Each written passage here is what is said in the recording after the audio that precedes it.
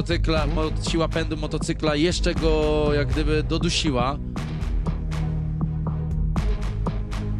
Tu jeszcze raz spoglądamy na powtórkę. Y, Jest też Piotr Karpiński i Marek Cieślak. Panowie, jak, jak wy to widzicie?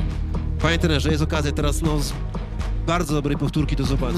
No, powiem, że trudny orzech do zgryzienia. Y, Mam takie wrażenie, jakby Max trącił y, Szczepaniaka w jego prawą rękę łokieć.